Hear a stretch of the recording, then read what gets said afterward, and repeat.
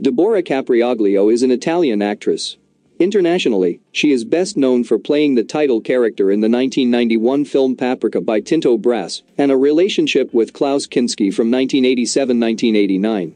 In 2007, she took part in the Italian version of the reality show Celebrity Survivor.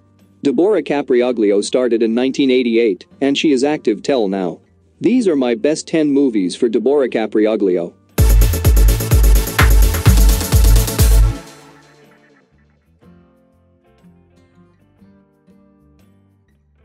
At number 7. Grandi Cacciatori, 1988. Grandi Cacciatori is a 1988 Italian adventure film directed by Augusto Caminito and starring Klaus Kinski. After the murder of a young biologist who has filmed the brutal slaughter of white seal pups in the Arctic, a fellow biologist enlists the help of one particular hunter, and then a second to find the killer. The man's wife is killed by a panther, his only reason to live becomes revenge, which slowly consumes him. At number 6. La Finestra de Alice, 2013. Gabriel, an aspiring writer full of debt, spends his days spying on the beautiful neighbor Alice from the window.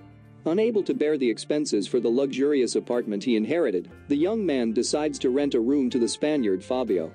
The coexistence between the two turns out to be rather complicated because the boys often clash due to great differences in character, but shortly afterward a murder occurs in Alice's palace, and Fabio becomes the main suspect.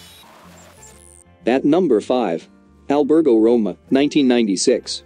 Albergo Roma in English Hotel Rome is a 1996 Italian comedy film directed by Ugo Chiti.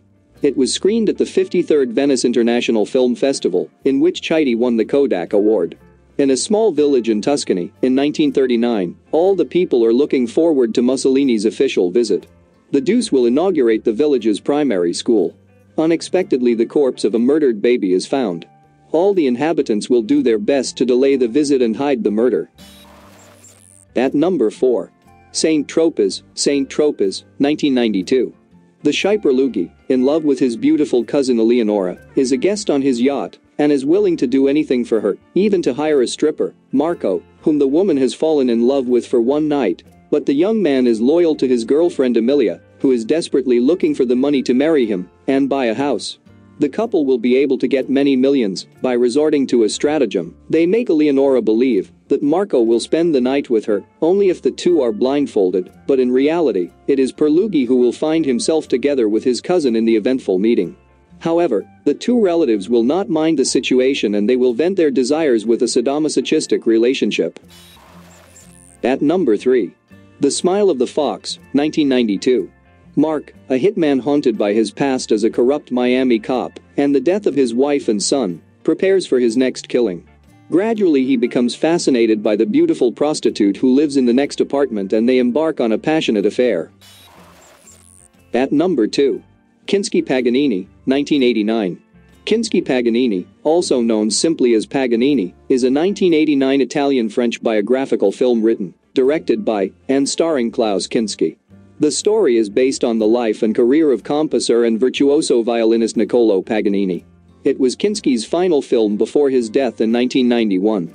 Klaus Kinski believed that he lived through the same experiences as the legendary devil violinist Niccolo Paganini, who set all of 19th century Europe into a frenzy, and through whose personality Kinski offers an incredibly profound and honest insight into his own life, a life of extremities. At number 1. Paprika, 1991. In 1950s Italy, just before the ban of brothels, Mima, an inexperienced country girl, reluctantly accepts to work as a prostitute. And, just like that, the once innocent woman becomes Paprika, in high hopes of raising enough money to finance her good for nothing boyfriend. Before long, Paprika will learn to enjoy her disreputable, but very profitable occupation, working her way up, one client at a time, as she journeys from one brothel to another in the bustling city of Rome. However, despite Paprika's stormy but prosperous voyage of self-discovery, experience, and sexual liberation, there is still one thing missing in her seemingly full life, unearthing the great mystery of true love. Worthy mention 3 movies. Love Story with Cramps, 1995. Love Story with Cramps concocts light, but agreeable romantic comedy out of a woman's furious quest to win back the man who dumped her. The Devil's Veil, 1989. A group of skiers on the Swiss Alps fall into a chasm opened during an avalanche, which kills one of them named Bibo, played by Michele Soavi, who can't seem to get away from any movies in the Demons series. With Closed Eyes, 1994. The film deals with Italian manifestations of patriarchal society, the historical setting at the turn of the previous century, and its specific problems for women living outside the protected confines of the family. Hey everyone, thanks for watching the video. Don't forget to subscribe, hit the like button, and always stay tuned.